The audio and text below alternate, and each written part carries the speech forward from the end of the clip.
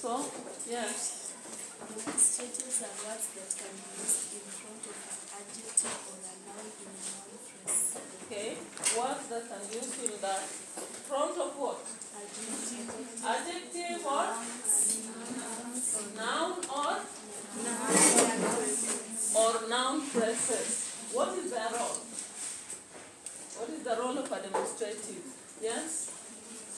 There is to show how close or how distant the person is or something is from you. Mhm.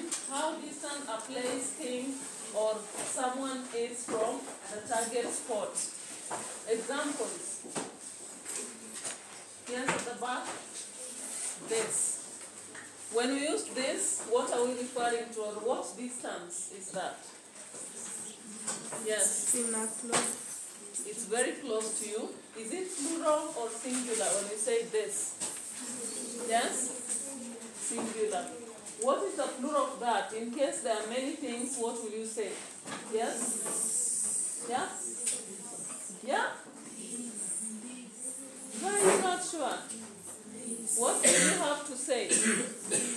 These. Uh-huh. Then, apart from now, what is here? What else should we use for demonstratives? Yeah? Yeah? That. How far is a thing when you say that? How far is it? Yes? So, some distance from where you are. In case there are many, will you say? Plural? Yeah? Those. Uh-huh. Do we have another way? Maybe when something is far from the two. A demonstrative showing something away from the two. Something close to you and something just away from you.